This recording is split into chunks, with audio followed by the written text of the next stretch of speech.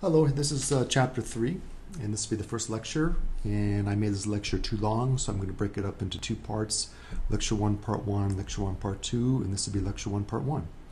And this chapter is about the basic economic model that we have for markets. And uh, markets are the main purpose, or the main study, I should say, of microeconomics. And markets are anything which brings buyers and sellers together. It makes exchange easier. It facilitates exchange. So markets could be as simple as a roadside stand, which is selling strawberries, uh, uh oranges. Markets could be the local grocery store. Uh, it could be a 7-Eleven.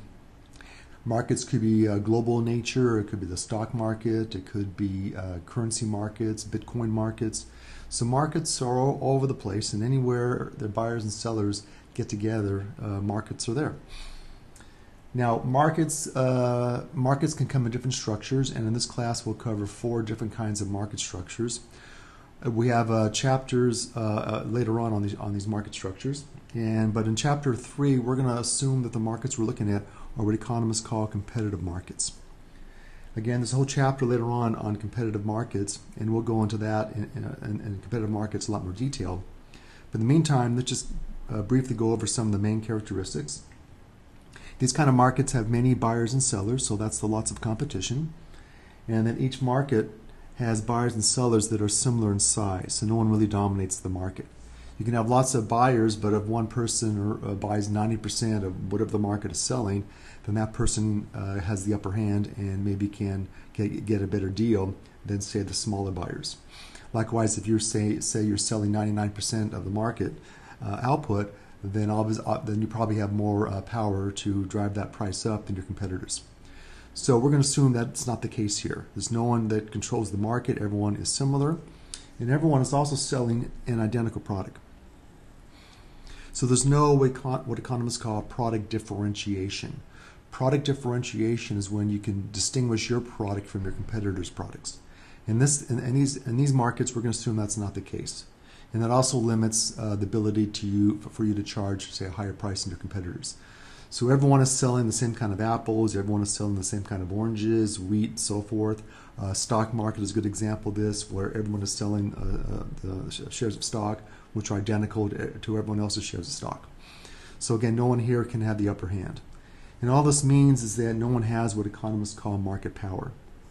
Market power is the power to control the price. These buyers and sellers here don't have that. So, for example, in the stock market, if the going price of a share of stock is, say, $100 per share, and you have, say, 10 shares of, of this particular company's stock, and you, want to, and, and, and you want to put them on the market to sell them, and you tell your broker you want to sell them at $110, well, it's not going to happen because why would they anyone pay 10 more dollars for your shares when they could buy the shares from a million uh, from a million other, um, other customers, sellers for $100? So you cannot get a higher price than the market price. And because you can sell your 10 shares at $100, per share, there's no reason for you to drop your price before, below $100. So whatever the market says the price is, that's the price you're going to sell it, which means you are a price taker. And everyone in these markets are price takers. And you and I most likely are also price takers. If you want to buy a gallon of milk at a supermarket, you bring the uh, gallon of milk up to the cashier's uh, stand to uh, pay for the milk. Uh, the price uh, comes out to five dollars. You tell the cashier you want to pay, say three dollars. It's it's not going to happen. You know they're going to look at you kind of strange, maybe call security, ask you to leave, because you are not a price maker. Where a price maker has the power to set the price, you are a price taker. Now, you may have heard the phrase there's strength, there's power in numbers, strength in numbers, and that is true. And now, if we can get like maybe all of Chaffey College uh, faculty, staff, students to join, which you might want to call the Chaffey Milk Buying Association, and we send down our representatives down to the local supermarket, and uh, we have and, we tell them that we have like maybe you know 20, 30,000 people, uh, uh, consumers, as, as a member of the Chaffey Milk Buying Association. And then every time one of our members comes down, we'll have some kind of ID, of course, that they'll give us, say, a 50% discount on milk. uh, they might do that actually because now we have strength in numbers. Uh, and again, we can tell them that if you don't give us a discount, we're going to go to some other stores. You know, if you and I did that, they couldn't care less about a single consumer, but 20, 30,000, I think they would care. But in these kind of markets, no one has that kind of power. So everyone, again, is a price taker. And what that means is that the market sets the price. You and I don't set the price, the market does. So again, no individual buyer or seller can affect the price. So if you ask on exam in a competitive market who sets, who sets the price, the answer is the market sets the price. And the market sets the price through demand and supply.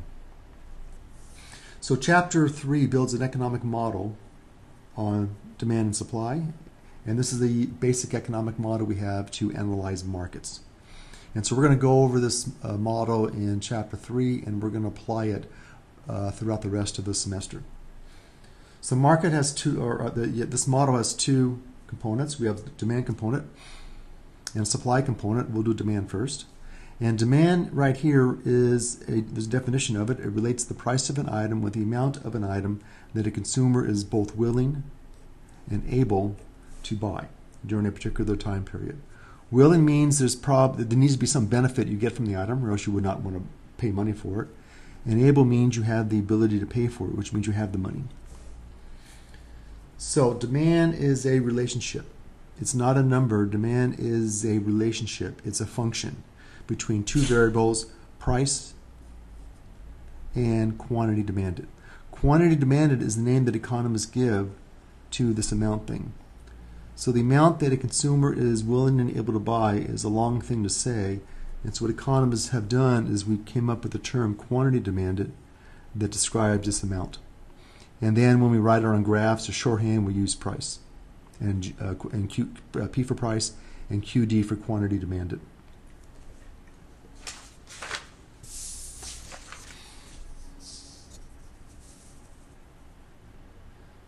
So that means that quantity demanded is a function of price. And this right here is demand. Demand is this statement down here. So quantity demanded as a function of price is what we call demand. Demand looks at all the different possible prices and how it affects all the different quantity demanded. Since quantity demanded depends on price, quantity demanded is the, is the dependent variable and price is the independent variable. And so if price increases or decreases, that's going to change the quantity demanded. And the way they work together is through what economists call the law of demand. Now, even though we call it a law, there are some exceptions to this. So it really is a hypothesis, a theory on how price and quantity demanded relate to each other. And the law of demand is the following. It states that if the price goes up, that's going to cause the quantity demanded to go down. And if the price goes down, that's going to cause the quantity demanded to go up.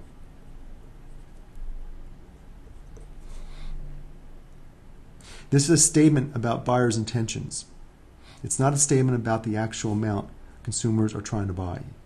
It's a statement of at this price, what would consumers do? At, the, at, this other price, what would consumers do? And so on and so on and so on. So it's all it's, it's a statement of the possibilities, all the buyer's intentions.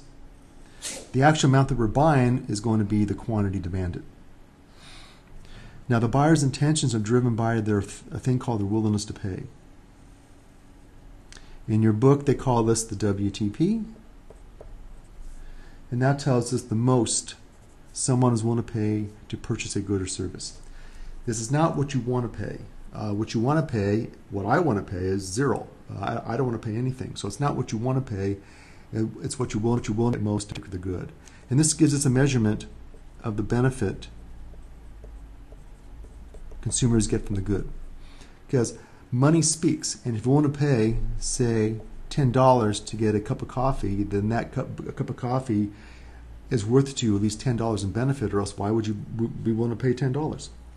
So everyone is very careful with money, and we're not going to be throwing money around uh, uh, without getting something in return. And so willingness to pay is a measurement, again, of the highest price you're willing to pay to get a particular good. Now down here, again, this is the law of demand. And the law of demand, as I said above, is the lower the price, the larger the quantity demanded, and the higher the price, the smaller the quantity demanded. So again, I could write it like this, just shorthand. So if the price goes down, this causes the quantity demanded to go up. And if the price goes up, this causes the quantity demanded to go down. And this is only true if other, uh, if other variables don't change, and that is the Ceteris paribus condition that we talked about in Chapter 1, Math Review. Ceteris paribus, again, is a Latin term that means other variables don't change. And so if the price goes down, we're assuming other variables that could affect how much you would buy is not going to change. For example, if this is the price of apples and the price of apples go down, uh, this says we're going to buy more apples, but that would not be the case if other factors could change. Say, for example, the price of apples go down, but you lose your job, so you can't afford to buy apples. In which case, in which case you buy less apples, not more. Or the price of apples go down, but other fruit goes down even more in price. So uh, apples go down by uh, maybe five cents a pound, and bananas go down by 50 cents a pound, oranges go down by a dollar a pound, and so on. So even though apples have gone down in price, you still would not buy more apples because other factors have changed, which have made apples less attractive. So whenever we look at uh, demand or supply for that matter, and we're going to be changing the price, this condition has to hold. The law of demand works pretty well if this condition holds. If this condition does not hold, then over here we have no, no idea what's going on. If you tell me, uh, Professor McMurran, if the price goes down uh, for apples, would people buy more apples? And I would say yes, provided nothing else changes. If you tell me the price goes down and all these other factors could change, would people buy more apples if the price of apples went down? The answer is I have no idea because so many other factors can cause people to buy less apples, not more apples, even if the price of apples have gone down. So I'll stop there and we'll come back for part two by looking at an example of demand down here with this table and this graph.